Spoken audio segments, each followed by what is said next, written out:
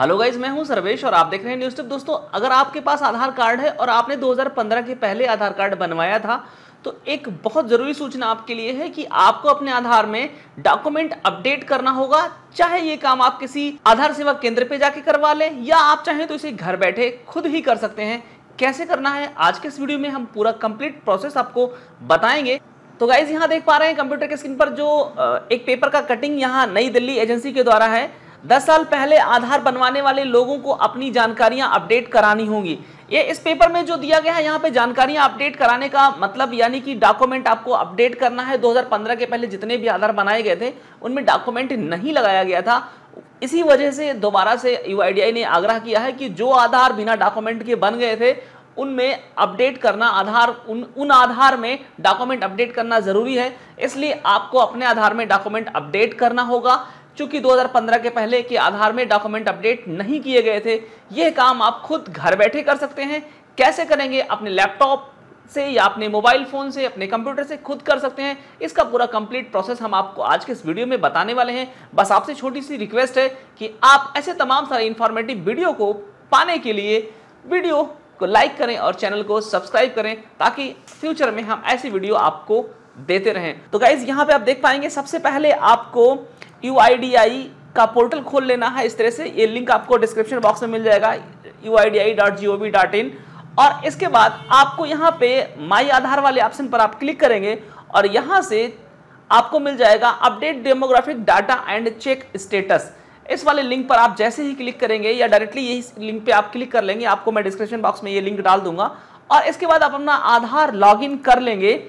यहाँ लॉगिन वाले बटन पर क्लिक करके यहाँ पे आपको अपना आधार नंबर लिखना है। तो गाइज़ मैं यहाँ पे आधार नंबर यहाँ पे मैंने डाल दिया है। ये मैंने सिक्योरिटी पर्पज की वजह से हाइड कर दिया है। और फिर नीचे जो कैप्चा दिखाई दे रहा है, इस कैप्चा को आप डालेंगे और फिर ओटीपी सेंड करेंगे। गाइज़ ऐसे आधार कार्ड धारक जिनके आधार में मोबाइल नंबर लिंक नहीं है, वो किसी यूसीएल सेंटर पर, यानी जो डेमोग्राफिक अपडेट सेंटर हैं, आपके क्षेत्र में सीएससी के द्वारा चलाए जा रहे हैं पूरे भारतवर्ष में, या किसी आधार सेवा केंद्र में, जहाँ पे भी जो आधार सेवा केंद्र है, वहाँ पे जाके आप आराम से अपडेट करा सकते हैं। वहाँ पे ओटीपी का कोई चक्कर नहीं होगा। बट अगर आप अपने घर से करना चाहते हैं तो आपको ओटीपी सबमिट करना पड़ेगा। तो यहाँ पे कैप्चा गलत हो गया था, इसलिए एरर आ गया है। और फिर सेंड ओटीपी करेंगे। फिर ओ टी पी यहाँ पे आ गया है और ओ टी पी डालेंगे अपने आधार में, आप लॉगिन हो जाएँगे। इसी तरीके से अगर आप एम आधार एप्लीकेशन डाउनलोड कर लेते हैं तो वहाँ पे भी सेम प्रोसेस आपको करना पड़ जाएगा। और इस तरीके से हम यहाँ पे ओ टी पी डाल दे रहे हैं। सबसे नीचे आप आ जाएँगे, बाकी आप आधार डाउनलोड करने का बहुत सारा फीचर यहाँ पे आपको मिल जा रहा है। एम आधार एप्लीकेशन में भी ये सारी चीज़ें आपको मिल जा रही हैं। और सबसे नीचे वाला जो ऑप्शन आ रहा है, यहाँ पे डॉक्यूमेंट अपडेट का आपको यहाँ पे दिखाई पड़ रहा होगा। इस वाले ऑप्शन पर आपको क्लिक करना है, फिर यहाँ से नेक्स्ट करना है और सारी गाइडलाइन और प्रोसेसिंग आपको बताया गया है कि यहाँ पे आपको क्या करना होगा, आपको ये वेरीफाई करना है। जो आप डॉक्यूमेंट देने जा रहे हो, वो आधार के अनुरूप ही है, यानी आधार में जो नाम है, वही नेम और स्पेलिंग आपके डॉक्यूमेंट में है, जो जन्मतिथि आपके आधार में है, वही जन्मतिथि आपके डॉक्यूमेंट में है। इस तरीके से एक प्रूफ आपको लगाना है और इस स्टेप में आपको डॉक्यूमेंट सेकंड स्टेप में अपलोड करना है, तीसरे स्टेप में आपसे ट्वेंटी फाइव रुपीज़ यहाँ पे साफ़ साफ़ यू के पोर्टल पर दिया गया है कि पच्चीस रुपए आपको यहाँ पे पे करना होगा डॉक्यूमेंट अपडेशन शुल्क के रूप में। फिर नेक्स्ट करेंगे गाइज़ और यहाँ पे आपका डिटेल पूरा जो यूआईडीआई में रजिस्टर्ड है, जो आपका नाम, वो पूरा शो हो जाएगा। जैसे यहाँ पे जो नेम है, जो डेट ऑफ़ बर्थ है, जो एड्रेस है, वो सब कुछ यहाँ पे आ रहा है। और यहाँ पे आपको वेरीफाई करना है। हाँ मैं वेरीफाई करता हूँ कि ऊपर का जो डिटेल है, वो मेरा सही है और उसी के अनुरूप मैं डॉक्यूमेंट सबमिट करने जा रहा हूँ।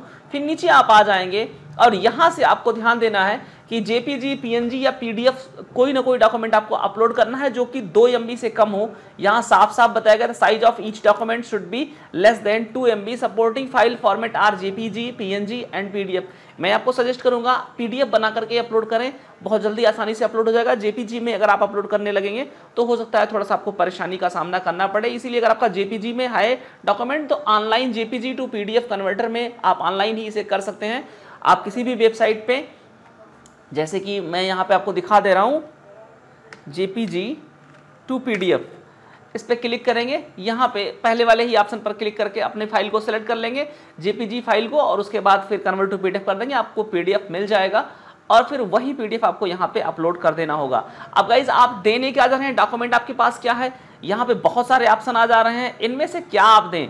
जैसे एक जनरल जो प्रमाण पत्र होता है, निवास प्रमाण पत्र सभी लोगों के पास आसानी से बन जाता है डोमिसाइल सर्टिफिकेट वही आप बनवा लें, या आपके पास बैंक पासबुक है, या कोई भी इनमें से जितने भी आपको लिस्ट ऑफ़ डॉक्यूमेंट दिख रहे हैं, इनमें से कुछ भी आपके पास है, वो डॉक्यूमेंट आपके आधार के अनुरूप होना चाहिए बिल्कुल, उसी को आप इसमें से, इस ऑप्शन में से वो चीज़ सेलेक्ट कर लेंगे। और अगर आपके पास निवास प्रमाण पत्र है, ये आसानी से बन जाता है सभी लोगों को अपने स्टेट गवर्नमेंट से। तो central state government ID card या सर्टिफिकेट मतलब स्टेट गवर्नमेंट या सेंट्रल गवर्नमेंट का कोई सर्टिफिकेट आपके पास हो, जो सरकारी प्रमाण पत्र हो, फ़ोटो आईडी उसमें होनी चाहिए, फ़ोटो ज़रूर लगा होना चाहिए, ये बिल्कुल मैंडेटरी है, ये आपको ध्यान रखना है।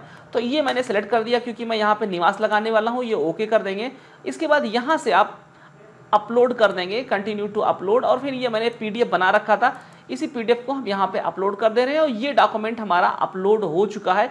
इसी तरीके से जो सेकंड वाला ऑप्शन है, इसमें भी सेम डॉक्यूमेंट आप लगा सकते हैं, क्योंकि वही डॉक्यूमेंट आप नेम के लिए भी दे रहे हैं नेम अपना मैच करवाने के लिए और वही डॉक्यूमेंट आप एड्रेस के लिए दे रहे हैं। तो मैं दोबारा से सेम डॉक्यूमेंट यहाँ पे सिलेक्ट कर ले रहा हूँ।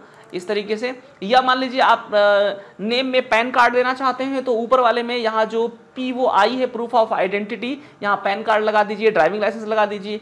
नीचे ड्राइविंग लाइसेंस आपका proof of identity and proof of address दोनों में आ जाएगा। तो दोनों आप स्कैन कर दिए ड्राइविंग लाइसेंस लगा करके। मतलब आपके पास जो डॉक्यूमेंट हैं सिंगल ही डॉक्यूमेंट दोनों में लगाना चाहें तो आप लगा सकते हैं। इस प्रकार की कोई दिक्कत नहीं आएगी कि मैं एक डॉक्यूमेंट यहाँ लगा रहा हूँ तो एक डॉक्यूमेंट यहाँ दूसरा लगाना पड़ेगा। और इस तरीके से आप यहाँ पर एग्री कर लेंगे। I hereby give my consent इसको फिर नेक्स्ट कर लेंगे और फिर ओके okay करेंगे। ये जो प्रोसेसिंग हो रहा है, इस प्रोसेसिंग का मतलब है गाइड सिंपली कि डॉक्यूमेंट अपडेट किया अपलोड हो रहा है, जो आपके सिस्टम में था, वो अपलोड हो गया। अब देखिए डॉक्यूमेंट अपलोड हो गया दोनों के दोनों डॉक्यूमेंट इसलिए अब यहाँ पे पेमेंट के लिए आपसे कहा जा रहा है। तो यहाँ पे पेमेंट के लिए आप एक्सेप्ट करेंगे मेक पेमेंट करेंगे और इसके बाद आपको पेमेंट के लिए रिडाइट किया जाएगा। यहाँ से आप चाहें तो नेट बैंकिंग से वॉलेट से या यूपीआई से तो मैं सिंपल यहाँ यू पी सेलेक्ट कर ले रहा हूँ। फ़ोनपे मैं यहाँ पे सिलेक्ट कर ले रहा हूँ। और फिर यहाँ पे फ़ोनपे का अपना आईडी आप डाल देंगे। या जिस भी तरीके से आप पेमेंट करना चाहें पेमेंट के बहुत सारे ऑप्शंस हैं। फिर वेरीफाई करेंगे और फिर प्रोसीड करेंगे। जैसे ही प्रोसीड करेंगे, आपके मोबाइल फ़ोन पे ये पेमेंट को एक्सेप्ट करने के लिए नहीं और गाइज़ इस तरह से ये पेमेंट सक्सेस हो गया। और यहाँ से आप एक्नॉलेजमेंट डाउनलोड कर सकते हैं। ये एक्नॉलेजमेंट आ जाएगा। और आप इसे चाहें तो पीडीएफ में सेव कर सकते हैं। इस प्रोसेस में मैक्सिमम पाँच मिनट लगने हैं। ये आप ज़रूर कर लीजिएगा अपने आधार में, क्योंकि ये बहुत ज़रूरी है। बहुत ज़्यादा अमाउंट भी नहीं है, केवल पच्चीस रुपये डिडक्ट होना है।